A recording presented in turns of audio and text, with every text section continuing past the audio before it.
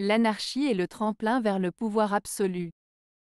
Napoléon Bonaparte Cette citation de Napoléon Bonaparte suggère que l'anarchie, un état de désordre et de chaos où il n'y a pas de gouvernement ou de règles, peut mener au pouvoir absolu. Cette idée est basée sur l'hypothèse que dans un contexte de désordre, les gens cherchent souvent un leader fort et autoritaire pour rétablir l'ordre, et que ce leader peut alors prendre le pouvoir de manière absolue.